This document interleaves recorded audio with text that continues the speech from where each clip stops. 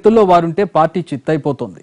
అధికార పార్టీ బలహీనతల్ని తనకు అనుకూలంగా మలుచుకునే పనిలో ఉంది వైసీపీ.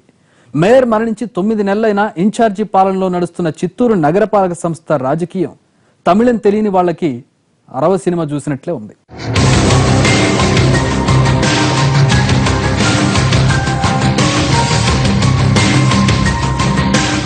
ఏపీలో చిత్తూరు నగరానికి ప్రత్యేకత. రంగులు మారుస్తూ రక్తం కళ్ళ చూసే రాజకీయాలకు చిత్తూరు పాపులర్. ఏళ్ళుగా ఇక్కడి రౌడీ రాజకీయాలకు ఎన్నో ప్రాణాలు గాల్లో కలిశాయి.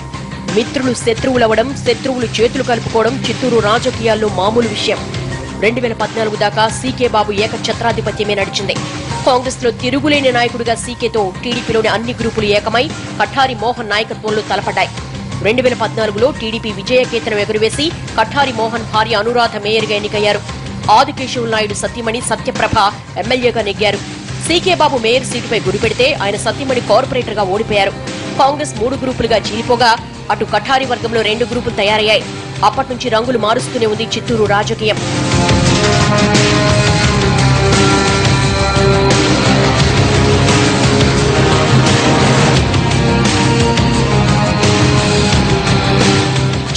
తనకంటూ ఓ వర్గాన్ని తయారు చేసుకున్న కఠారి మేనలుడు చింటూ అలియాస్ చంద్రశేఖర్ తన ఎదుగుదలకు అడ్డుపడుతున్నారనే కక్షతో తొమ్మిది నెలల క్రితం మేనమామ మేనత్తలను కార్పొరేషన్ కార్యాలయంలోనే హత్య చేయించడం చిత్తూరు రక్త చరిత్రలో పెను సంచలనం మేయర్ అనురాధ హత్య తర్వాత డిప్యూటీ మేయర్ సుబ్రహ్మణ్యం ఇన్ఛార్జిగా ఉన్నారు.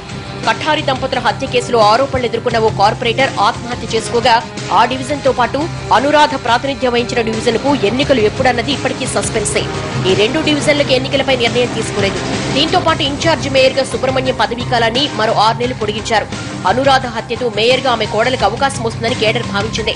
పార్టీ కోసం ప్రాణత్యాగం చేసిన తమ కుటుంబానికి ముఖ్యమంత్రి కూడా హామీ ఇచ్చారని కఠారి వర్గీయులు అంటున్నారు. కానీ నెలలు గడుస్తున్నా దీనిపై ఎలాంటి నిర్ణయం లేదన్న అసంతృప్తితో కఠారి వర్గీయులున్నారు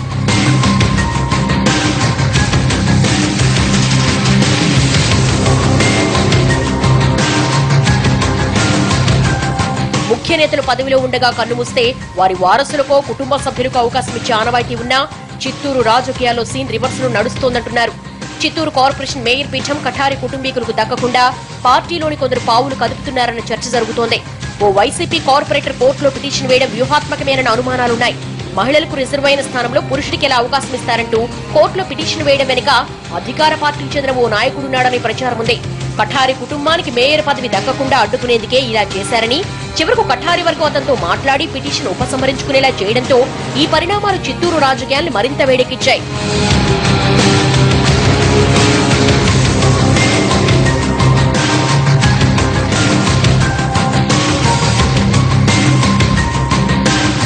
మనసులోని మాట చెప్పుకున్నా నాయకత్వం స్పందించలేదంటూ కఠారి కుటుంబీకులు ఆగ్రహం వ్యక్తం చేస్తున్నారు. దీనిపై ఇటీవల పార్టీ కార్యాలయంలో వాగ్వాదం కూడా జరిగిందని సమాచారం. టీడీపీ గ్రూపు రాజకీయాలతో సీకే బాబు వర్గం బలపడుతోందని కార్పొరేషన్ కార్యాలయంతో పాటు అన్ని ప్రభుత్వ శాఖలలో ఆయన వర్గం మాట చెల్లుబాటు అవుతోందని టీడీపీ వర్గీయుల్లో అసంతృప్తి అంతకంతకు పెరుగుతోంది. పది సంవత్సరాలు అష్టకష్టాలు పడితే స్థానిక నాయకుల గ్రూపు తగాదాలతో పార్టీ పరువు బజార్న పడుతోందంటున్నారు. చిత్తూరు నగర పార్టీలో ఇంత జరుగుతున్నా అధినాయకత్వం దృష్టి పెట్టడం లేదని టీడీపీ శ్రేణులు అంటున్నాయి.